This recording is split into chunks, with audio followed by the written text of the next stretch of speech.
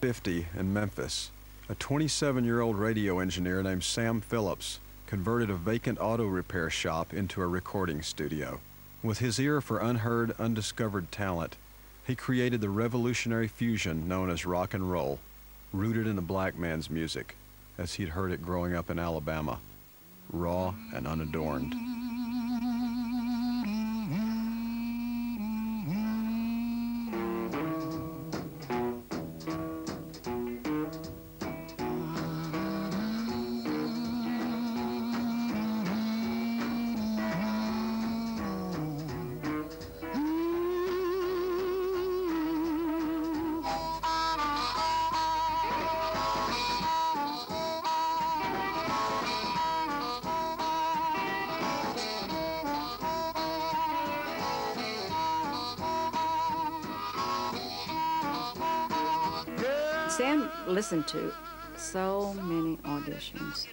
They a guitar, they could play the piano, and some had no instruments at all.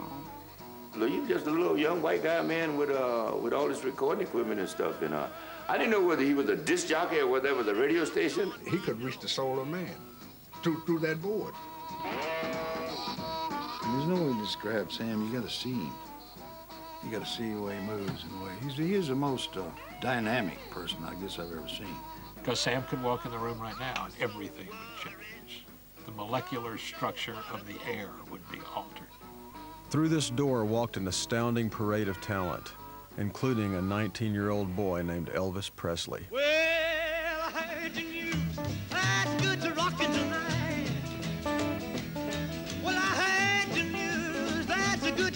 I I heard the news. That's good to rockin' tonight. I don't think there would have been an Elvis without a Sam. If that's the question, I don't think there's any doubt about that. In his wake came a second wave of musicians who would help shape a century's music. Most of them had never seen the inside of a recording studio. I was going to come to Memphis, Tennessee, and that I was going to see if I could get on Sun Records. I took my guitar and went down there and sat on the steps of his studio. I told him my name was John Cash, and uh, I think he'd be happy he listened if he did, and he did. I just read in a magazine uh, about Sam Phillips, uh, who had started Johnny Cash, Elvis Presley, uh, and Carl Perkins, and I, I said, man, that's the guy I need to see. Well, we're gonna rock. Sam Phillips' unique gift was to recognize the individuated human voice, then capture it on vinyl in all its glorious imperfection. Rock, we're gonna rock. All our blues away.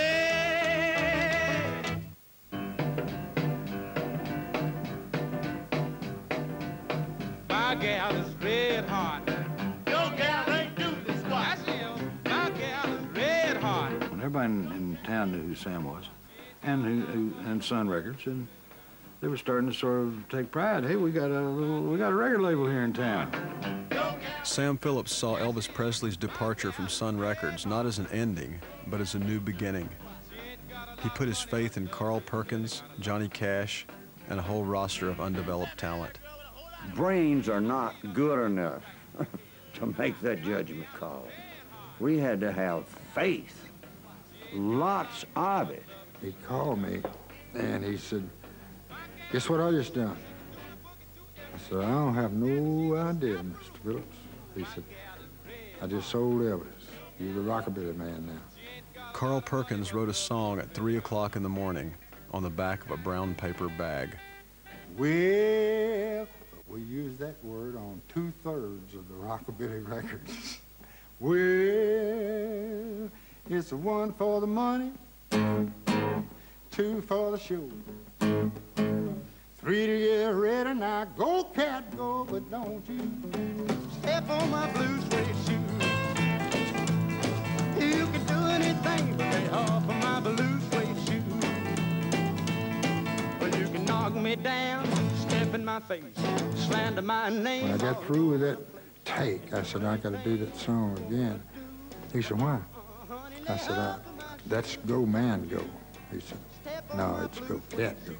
It's an odd thing to explain to people, but if you're in that room and you're listening to that, it tells you just like you're looking at something and you say, I see it now. I see it now. You could look at the bass player, man. You could look at the piano player. You can't keep them smiling when it's right and when it's clicking. It's hard to get it unclipped. I mean, it's going to stay there. I think it was the record that did so much for everything that Sam had been trying to do, was to get black radio stations to play white, the white man's music, and the white radio stations to play the black man's music. And Blue Suede Shoes was one of those records that bridged the gap. On the way to New York to play the Perry Como show, Perkins' driver fell asleep at the wheel. Carl and his brother Jay, who played rhythm guitar, were seriously injured in the crash.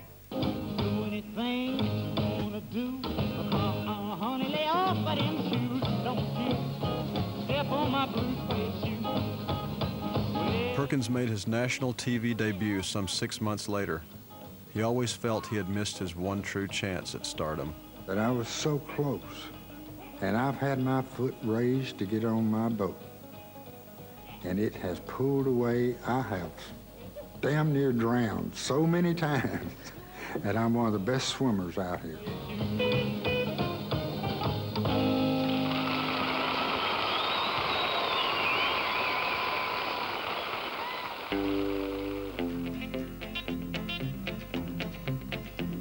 Hey Porter, hey Porter, would you tell me the time? How much longer will it be till we cross that Mason-Dixon line? Johnny Cash's Hey Porter hit the country charts at the end of 1955. By the middle of the next year, Cash was a pop star with a sound that couldn't have been further from the pop sound of any era. Johnny Cash was so different when he started, and it was so simple. This this poor man with, with two nervous boys, one standing on one side and one the other. But still, there was something about that train and that lick. in the group, and they were very primitive musicians, barely playing music, you know. And yet their pattern, the thing that they did was signature, instantly recognizable, the little boom chicka three-string thing Luther Perkins did. There would have been no Johnny Cash without it. It didn't take long until we realized Luther's something special. Although he wasn't the greatest musician in the world, he was really special. Luther would proceed, proceed to challenge our souls. Right in the middle of the song and right up to maybe the last four bars, he would forget which string to go to next. There's a big difference between simple and easy also. And the thing they were doing may have been very simple, but it wasn't easy.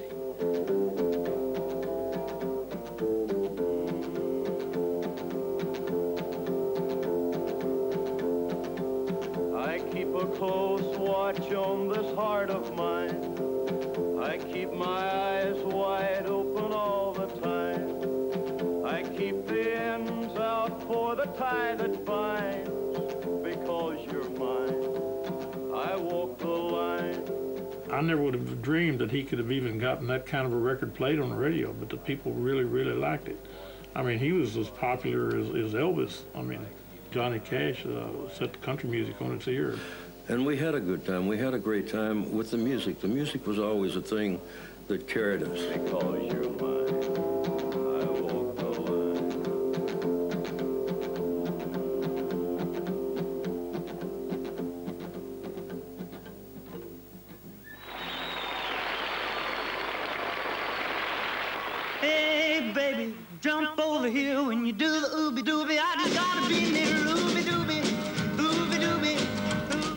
month Cash cut I Walked the Line, Sam found a song to follow up Blue Suede Shoes. Ooby Dooby was a novelty number with strong teen appeal. Its singer was a former oil worker from Odessa, Texas. Uh, when I got to Sun Records, uh, Sam brought out these uh, recordings uh, of uh, That's All Right by Arthur Crudup and Mystery Train. He had been recording rhythm, rhythm and blues, uh, and he said, sing like that. I didn't know exactly what he meant, sing like that. I think he meant sing with feeling. It was what he was getting at.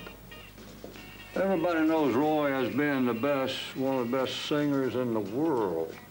And if I'd let him start out with anything but Ooby Dooby or some rhythm song for the young people, you might have never heard of Roy Orbison. Well, you wiggle and you shake like a big rattlesnake. You do looby dooby till you think your heart will break. Ooby dooby.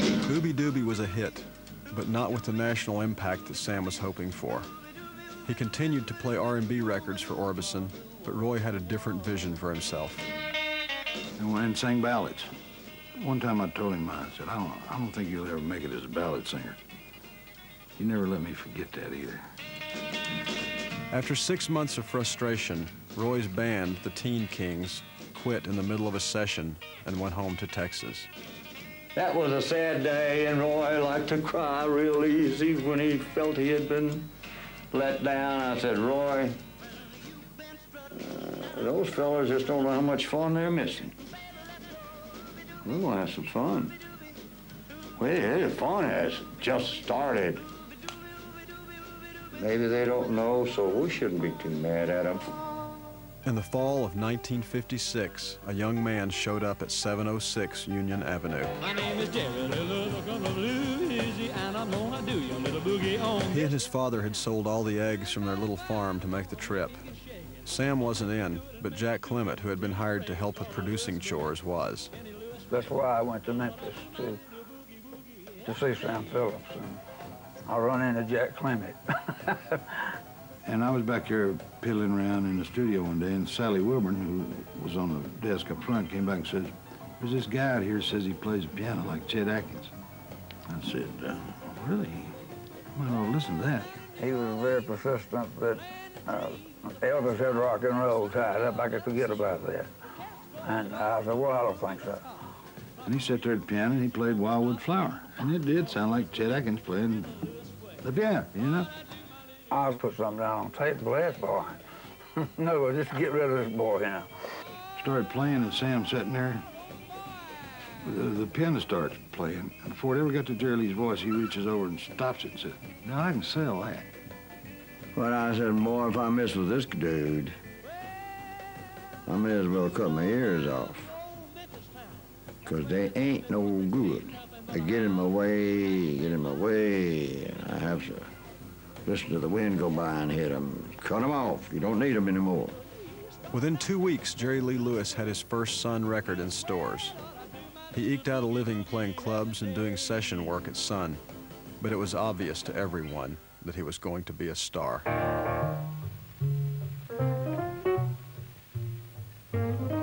Elvis never lost his closeness to Sam or the Phillips family.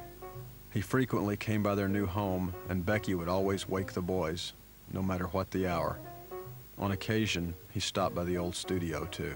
Here was Carl doing a session, and we were using Jerry Lee Lewis as his piano player. This was before Jerry Lee had uh, a hit. Then in comes Mr. Presley. What, what was you playing a while ago, Carl? A? You playing A a while ago? Is, is that no place like home? As soon as Sam realized the historic nature of the occasion, he called up Johnny Cash and a couple of local reporters.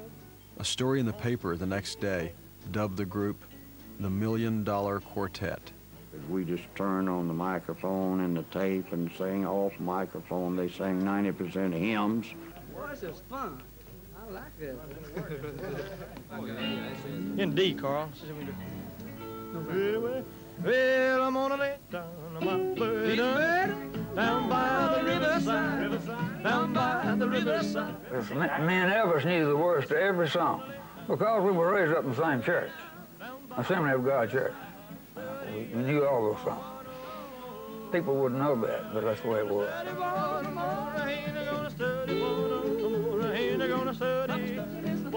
God, this must have went on for four or five hours. And uh, those were great times. And, and Mr. Phillips cut every bit of it. And I still look at that picture. We all looked like country boys, and they were around the piano. Every person in that room was electrified, not just by Elvis, not by Johnny, not by Carl, not by Jerry Lee, but the fact that we were together all of us in the place where it started for every one of them. They're one no more.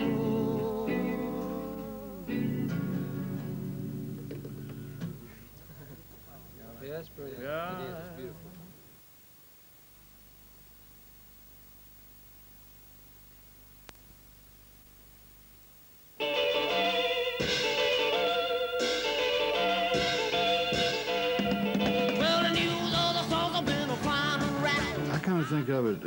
Of Memphis as Emerald City. Emerald City of rock and roll, at least. And that would make Sam Wizard of Oz. By 1957, the very definition of music had changed. In the wake of Elvis's monumental success, rock and roll had taken over the world, and Sun Records was leading the way. The postman would come every day with a sack full of uh, audition tapes. There was no such thing as a failure when you left here, whether you ever got a record out of here, and that wasn't BS. I wasn't trying to make them feel good. I was trying to tell them the odds and everything were good. And they were better for them than they were for me. He said, I want you boys to do something for me. I want you to remember the disc jockey when you first start singing that song, because he's going to hear it first. About middle ways that song, I want you to remember the people that's going to listen to it. And that last verse, do it any way you want to. That's yours. Sam had a close, almost paternal relationship with each of his artists, and yet he maintained a closely considered distance too. even in their most grown-up adult moments. He was still Mr. Phillips, which tells me that there was a lot of respect, regardless of differences of what it may have been over business or whatever.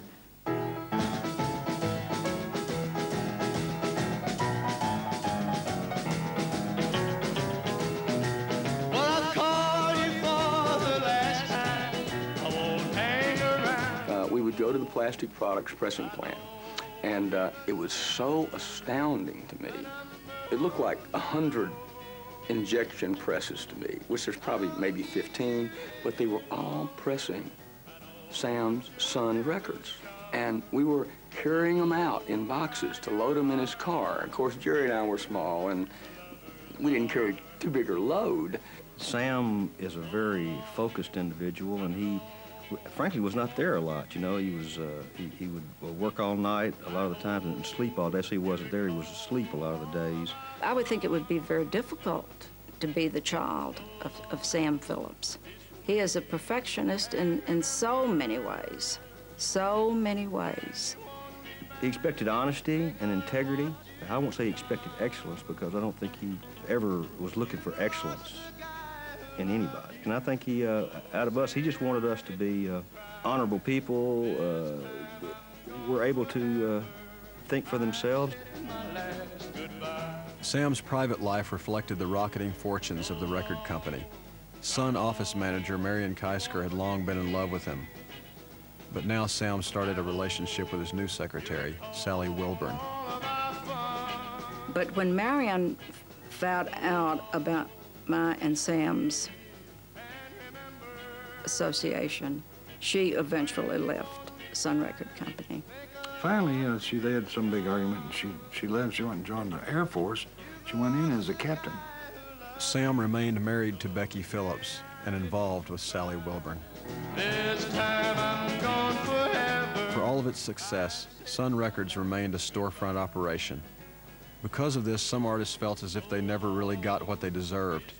But Phillips would have no part of what he called assembly line production. Sam felt like he had the talent and, and the know-how and, and uh, the confidence in himself. I don't think he felt like he really had to have any particular musician, and I agree with him. Sam, who was always wary of outsiders, brought in his brother Judd to help on the promotion end. It took these two people together to make Jerry Lee Lewis into a superstar. And uh, it, took, it took me about six minutes to tear it down.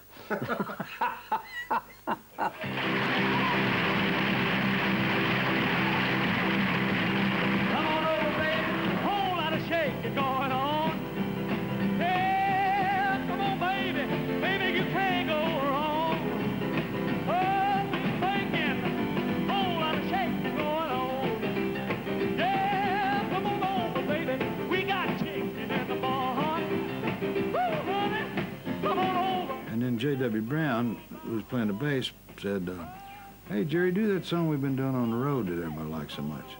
So I walked by and seen it play and record, sit down there, and they did a whole lot of shaking going on. No dry run, no nothing, just blip, there it is.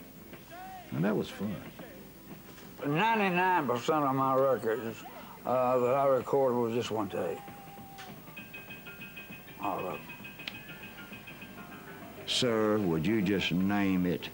And I guarantee dadgum to you, he can do it. Come on over, baby. We got chicken in the barn. Who's the barn? What's the barn? My barn. Come on, honey. We got a fool by the horn. Oh, we breaking. Whole lot of shaking going on. Easy now, shake. Took us to New York, got us on TV, and exported the record a Whole Lot of Shaking Going On, which was, at the time, the most vulgar record ever put out. and we done it on the Steve Allen show, and it busted wide open. Now let's go. Shake!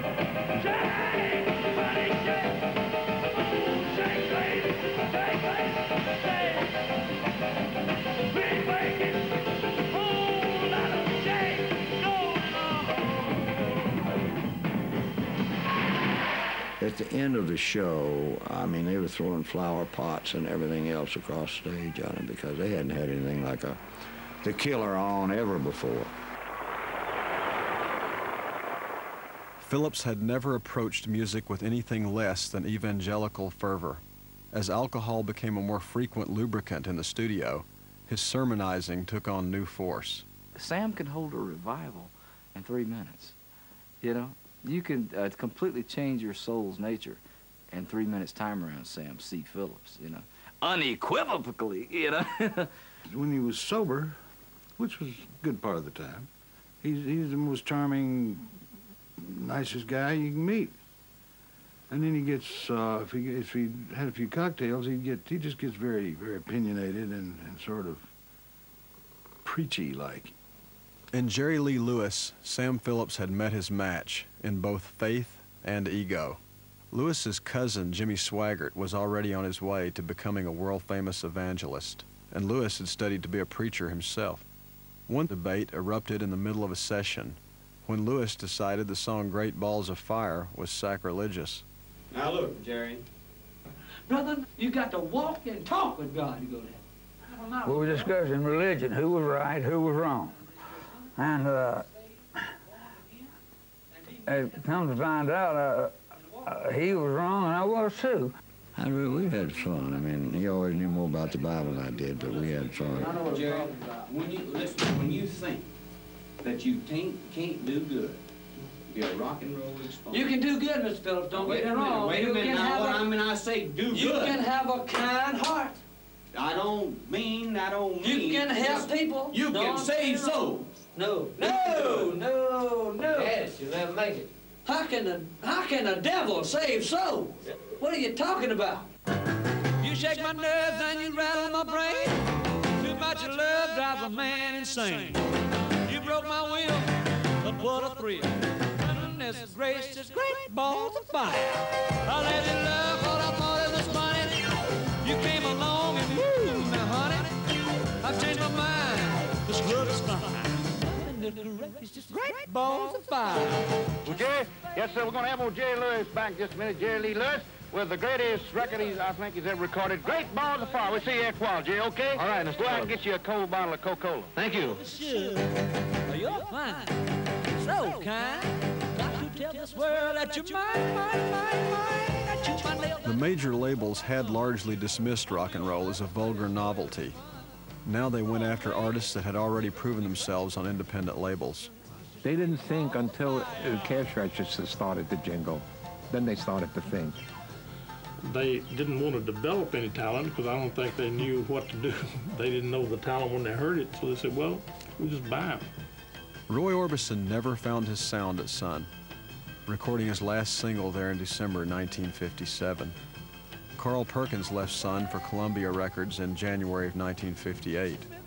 Then Johnny Cash secretly signed with Columbia. But when I found out that he had signed this option with Columbia Records,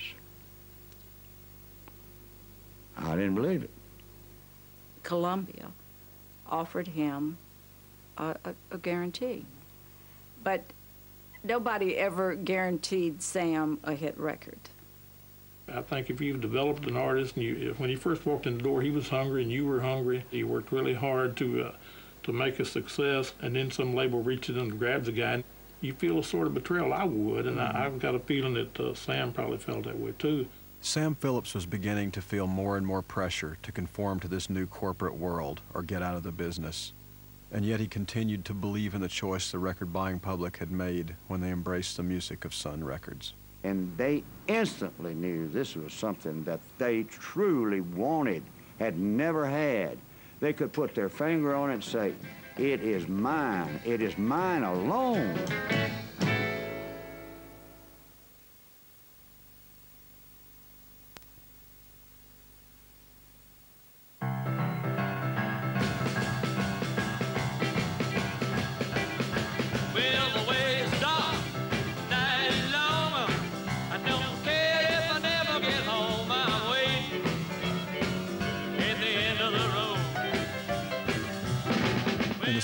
1958, Sam Phillips broke ground on a new home for Sun Records.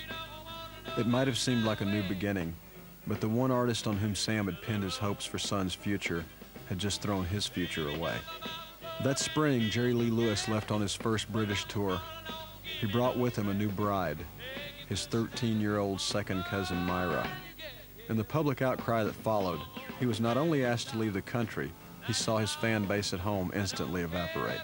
Sam helped me to that contract for five years. If I couldn't leave, I had to stay there.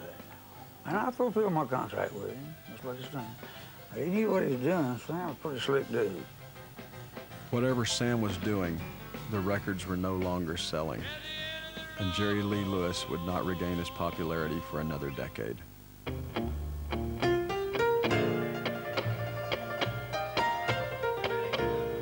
Charlie Rich was the last of Sam Phillips' great discoveries. A moody, introspective man, he had been farming with little enthusiasm and even less success. Probably I was playing more jazz than anything else because I had been, since the farming thing fell through, I'd been working some like as a piano bar and that sort of thing. Without his knowledge, Rich's wife took his songs to Sun, where he got a job writing for other artists such as Johnny Cash and Jerry Lee Lewis. Then in late 1959, he wrote a song that would for many years be his signature hit. Well, I make it all right from Monday morning to Friday night.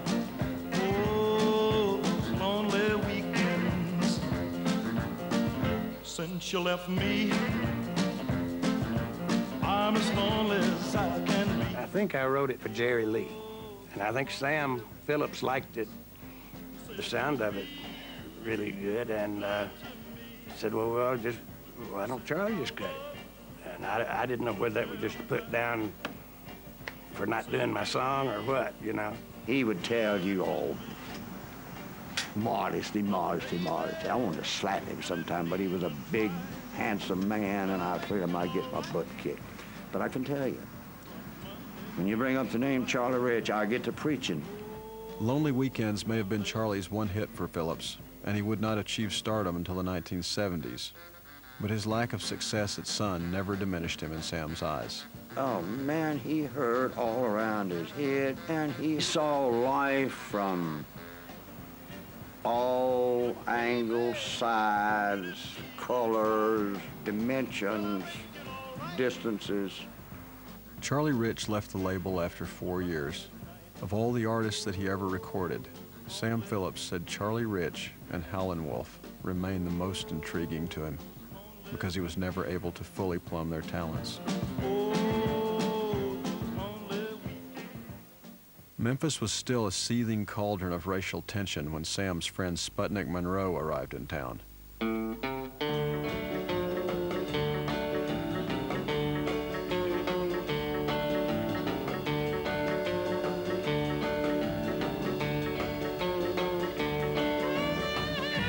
Sputnik was a free spirit, very much like Sam. He too dedicated himself to championing the black community. He came to town determined that all the white folks in this town were going to hate him because he loved black folks. And would you believe Jesus Christ, Abraham Lincoln, and Sputnik Monroe were three pictures in most of those houses? That's pretty heavy company. Love expounds love, man.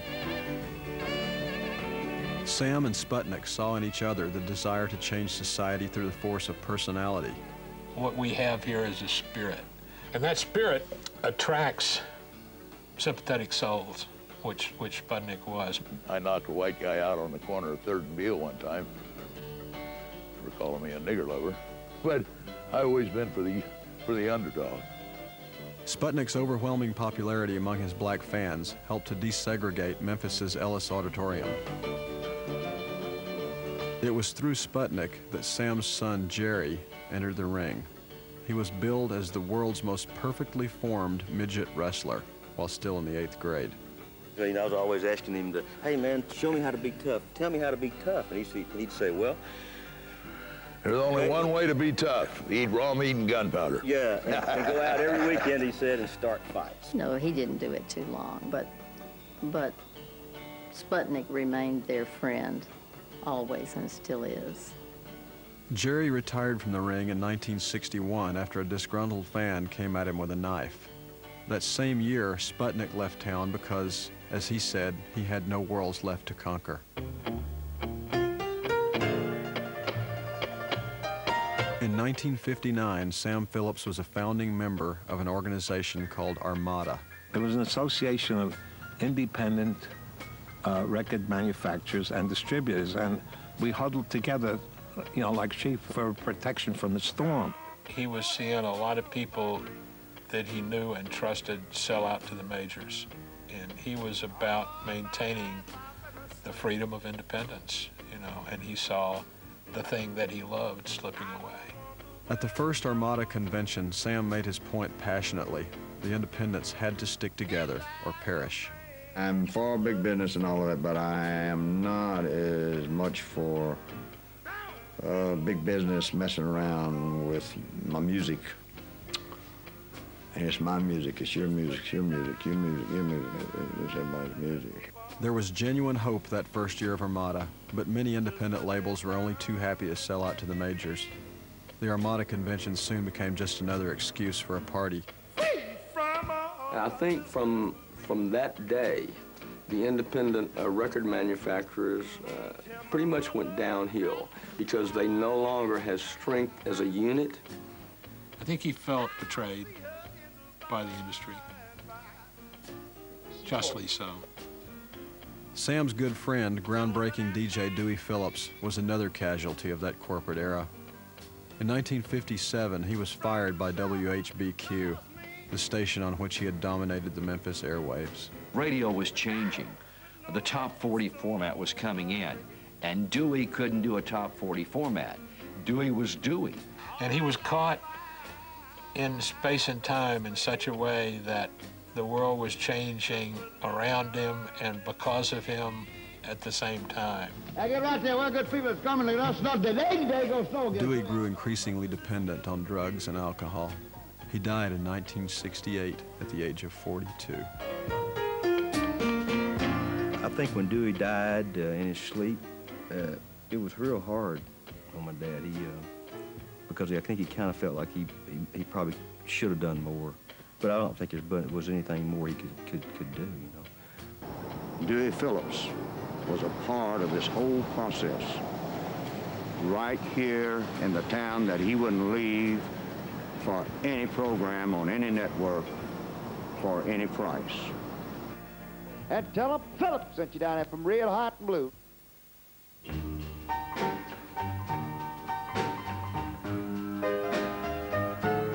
In January of 1960, the new studio at 639 Madison finally opened. At the time, it was one of the most modern studios in America, and Sam had a hand in every part of its design.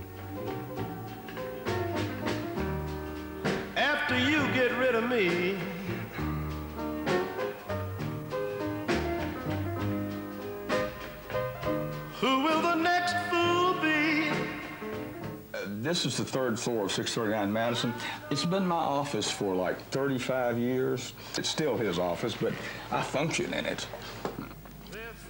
It's a cool place, you know. Um, I think what's the coolest thing about it is that it's always stayed the same since uh, 1959. That was the beginning of the, of the new, quote-unquote, new studio, which is in itself a remarkable place.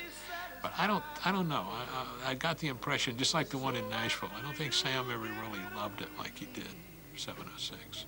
My dad is, is one of these uh, futuristic, uh, ahead of the curve people, and he built a desk with a jukebox in it. He just saw the writing on the wall, and he knew that there was not much he could do about it. And he looked uh, to, to other interests. You know, there was nobody at the time that uh, you could call and say, build me a studio. I would be down here. You would uh, hardly ever see Sam. Occasionally, he would come by.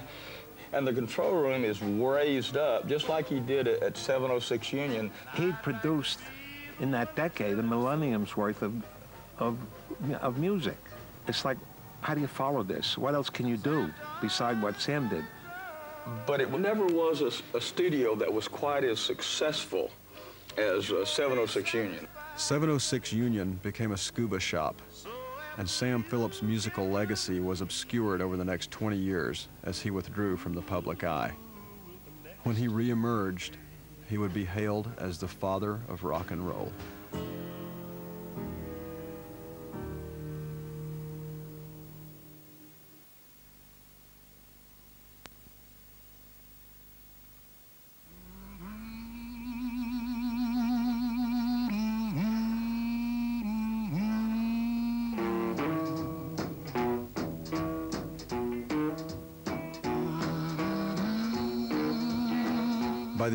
1960s, Sam Phillips had virtually withdrawn from Sun Records.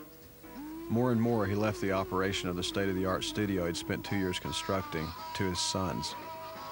I think he was um, trying, just trying to uh, move on to another, another dimension, you know.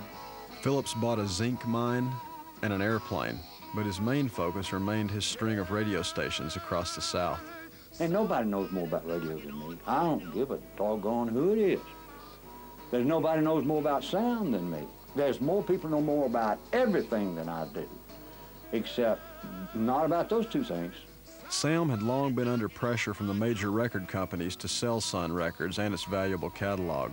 In 1969, when Sam finally did sell, it was to Shelby Singleton, a marketing legend with an independent label of his own. And that was a sad day, but I didn't sell out to a major label. The sale was for $1 million, and Singleton set about exploiting the catalog in a way Sam had never altogether approved. The flood of anthology albums and outtakes had one not entirely surprising effect. Where once the name Sun Records was an historical footnote, Sam Phillips found himself under siege from a world that wanted to know the secret of Sun. I think he realizes now because it's so obvious that uh, he is Sam Phillips, you know, the father of rock and roll. There have been infrequent returns to the studio in the intervening years. The last came in 1978 at his son's invitation. Sam thought my voice sounded so awful that he would uh, stick around and see if he could maybe help fix it.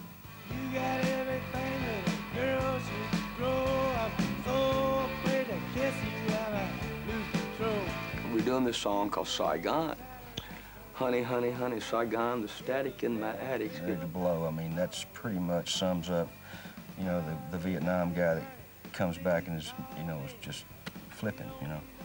Sam put my guitar player's amp in the in the echo chamber. He turned it up so it'd blow the tubes out in it, because he wanted to have pieces of uh, hot metal flying through the air. That's what he said. We were doing it at a, like about 135 miles an hour. And he said, hey, look, you guys, do you know what half of that speed is? And they said, yes, sir, we know. He said, well, can you play it half of half? And he looked at John and he scooted his chair over to him in his face and says, and John, can you put some sex into it?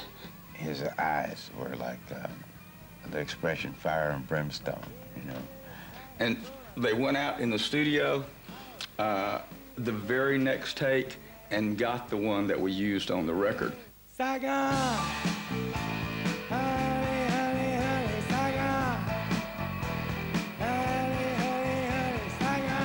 I was in the studio with Sam Phillips, you know. If Sam told me to stand in my head and sing at that, I would have, you know.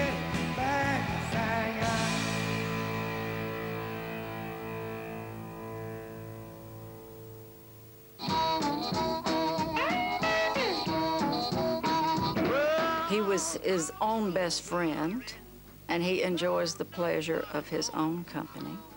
He is the change that he wanted to make in the 20th century. Sam Phillips is that change. He doesn't really uh, have have close friends. I think his pursuit of what he's been trying to do all his life has kept him from from having those, maybe having time for those kind of those kind of relationships. Phone calling. Tell 'em I'm not at home. Sam Phillips often returns to his hometown of Florence, Alabama, today the seat of his radio empire.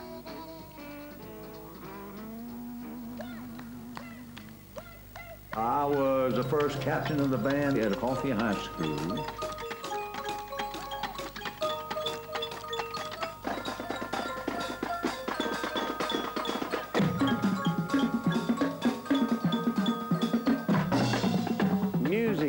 Not something you have to do. Even if they cook, kicked you in the butt and said, hey, you gotta do it. Music is something you wanna do. He is a person that is a teacher, and he perceives himself as that, and he tries to give you, you know, this sage advice as a teacher without you knowing he's trying to teach you. You'll never regret one millisecond of the time and devotion that you give to your music. He scares the heck out of some people. He's eh, he's telling you something, and you, you know he's full of prunes, but it's profound, whatever it is, you know. have a hell of a lot of fun doing it. Thank you very much. We appreciate it. He can have you believe in something if, if you know it's not true, you know, for a while.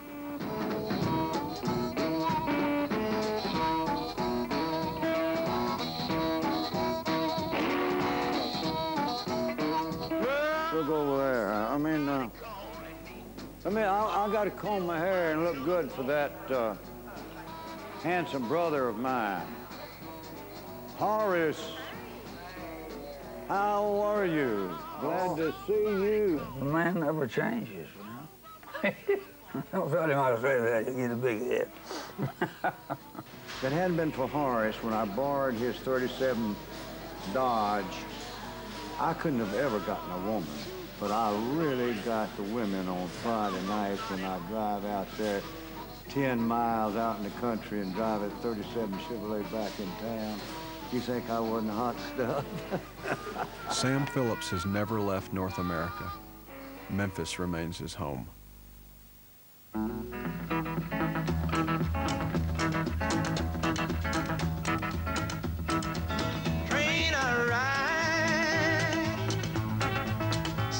Anywhere else on earth outside the United States, and rock and roll music is symbolic of freedom, not democracy, not Christianity. Rock and roll music, which succeeded where both politics and religion failed to spread the American culture for good or bad to the rest of the world. Do you know what this country has done through hardship? It's become the seat of the greatest compositions and versatility in music the world has ever known. I think Sam's genius. It's like Camelot. For one shining moment in history, there it was a it was a unique situation. Never before, never after. And he was the man that brought it all about. The power of the feel of the essence of music that originated in this baby country. 250 years old. That's a baby with a bare butt. Look what we've done through music. Sam is a preacher, and uh, he's a prophet of sorts. And what do preachers go for? They go for the soul. Music is such an opportunity for everybody. Sit and sing a while, man. I mean, if you can't stand yourself, do it. You'd be surprised.